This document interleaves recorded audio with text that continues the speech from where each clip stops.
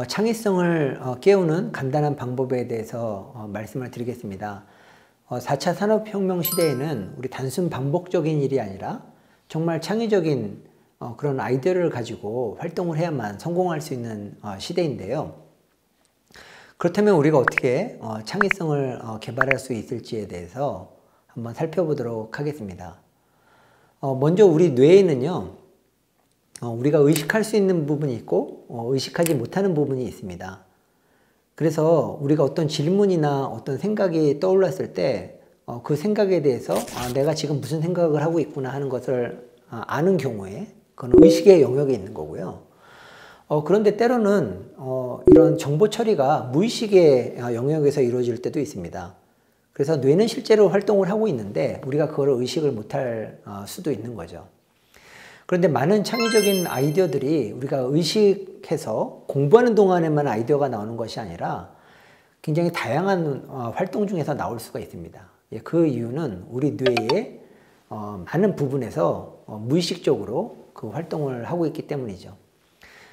어, 대표적으로 그 유레카에 대해서 아시죠? 그 아르키메데스가 어, 그 왕이 내려준 숙제를 하다가 그 왕관이 그 순금이냐 아니면은 불순물이 섞여 있느냐를 어, 판단하는 방법에 대해서 질문을 했는데 이 아르키메데스가 아무리 공부를 해도 생각을 해도 어, 답이 떠오르지 않았습니다.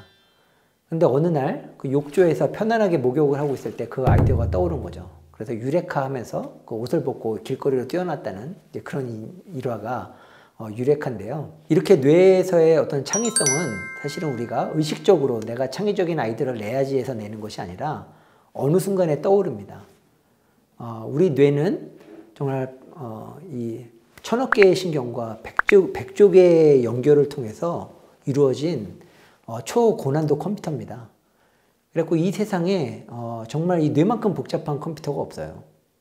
예. 근데 다만 우리가 어, 아이디어를 내야지 하고 어, 빠른 시간 내에 아이디어가 안 나는 이유는 이 전체 뇌를 너무 프로세싱을 빨리 하게 되면 열이 많이 나옵니다. 예, 열이 많이 나와가지고 뇌가 죽게 되겠죠. 그래서 뇌는 어, 초절, 초저전력 설계로 되어 있습니다. 그래서 이렇게 뇌는 어, 초저전력 설계로 되어 있지만 어, 굉장히 고난도의 일을 어, 할수 있게끔 되어 있습니다. 어, 그래서 창의성을 깨우는 아주 간단한 방법 첫 번째는요. 어, 질문을 던지는 거죠. 예, 중요한 질문을 던지는 겁니다. 그러면 뇌는 자는 동안이나 일을 하는 동안이나 내가 휴식을 할 때나 어, 전철에서 이동할 때나 계속 그 문제에 대해서 생각을 합니다. 그래서 우리가 질문을 만드는 방법들을 어, 연습을 해야 됩니다. 어, 흔히들 창의성 하면은 답을 만드는 어, 방법을 많이 노력하고 훈련하려고 하는데요. 어, 그것이 아니고 어, 질문을 만드는 법을 어, 훈련을 해야 창의성을 고양시킬 수가 있겠습니다. 예, 그래서 길을 지나가다가 어떤 건물을 봤을 때, 저 건물의 이름은 뭘까 하는 어, 간단한 질문부터 어, 조금 지하철을 타고 가다가 어, 이 덜컹거림이 있지 않습니까? 그러면 이 덜컹거림은 왜 있을까? 뭐 이렇게 질문을 해보고요. 그래서 제가 한번 시험을 해봤습니다. 그 정말 나만의 질문을 어, 찾는 게 내 인생의 목표거든요. 그래서 어, 카이스트의 교수가 된 이후에 어, 질문을 한 가지씩 한 가지씩 적어봤어요. 그랬더니 처음에 연습할 때는 하루에 한 가지 질문도 어, 찾아내기 굉장히 어렵습니다. 근데 이게 두 개, 세 개, 열 개로 늘어나면서 어느 날은 하루에 150개의 질문을 어, 적게 되는 어, 그런 놀라운 일이 어, 생기게 되었어요. 그래서 그 이후로 이런 질문을 쉽게 어, 만들다 보니까 어, 뇌가 무의식적으로 답을 많이 만들어내고 남들이 생각하지 못했던 측면들도 볼 수 있게 되는 거죠. 예, 그래서 여러분들이 어떤 중요한 업무를 맡았다면 어, 사실은 어, 그 업무에서 어, 정말 중요한 것이 무엇인지 정말 많은 질문을 만들어내는 어, 연습을 하게 된다 그러면 어, 답을 찾는 어, 창의적인 답을 찾는 굉장히 중요한 방법이 되겠습니다. 그리고 두 번째는요, 음, 우리가 알고자 하는 대상, 그 다음에 우리가 창의성을 발휘해야 되는 대상은 어, 우리 뇌가 만들어낸 세상 너머에 있다는 것을 항상 파악을 해야 됩니다.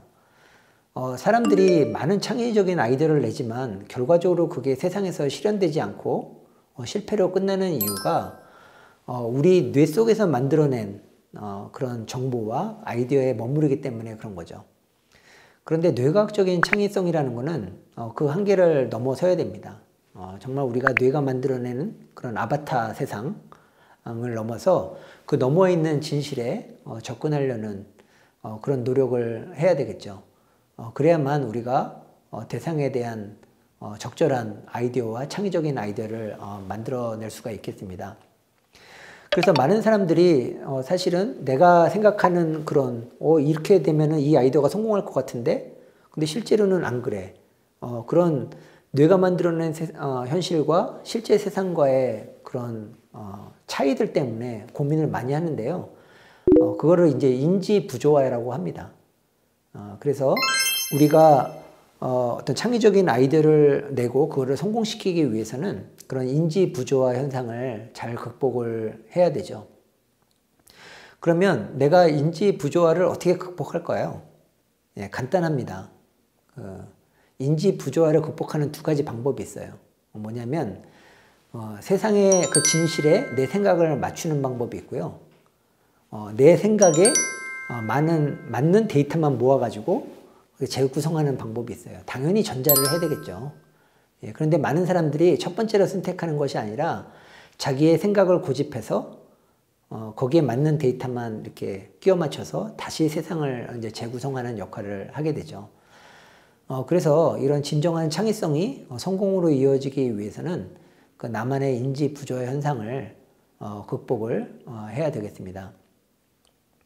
그리고 마지막으로 이 차, 창의성을 깨우는 간단한 방법은요. 우리가 책을 읽을 때나 정보를 취득을 할 때 보다 겸손한 마음을 갖는 거예요. 내가 바닥이라는 느낌, 나는 아는 것도 아무것도 없고 어, 정말 그 어린아이와 같은 그런 순수한 마음을 어, 갖는 거죠. 예, 그럴 때 내가 지금까지 어, 내 나, 나의 생각이나 어, 나의 아이디어를 어, 가뒀던 그런 편견들이 이제 사라지게 되거든요. 예, 그래서 우리 마음을 어, 순수하게 하는 게 굉장히 어, 중요하다고 하, 아, 생각합니다. 그래서 제가 만나본 노벨상 수상자들이라든지 정말 훌륭한 업적을 이루신, 이루신 분들의 공통점이라고 하면 어, 마음이 어, 정말 어린아이와 같은 분들이 되게 많아요.